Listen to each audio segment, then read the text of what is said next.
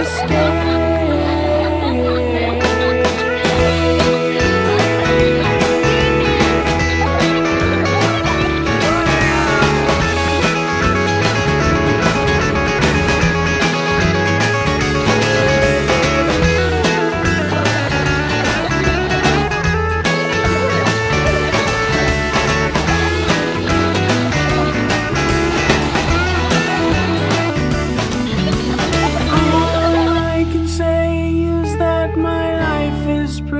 You don't like my point of view,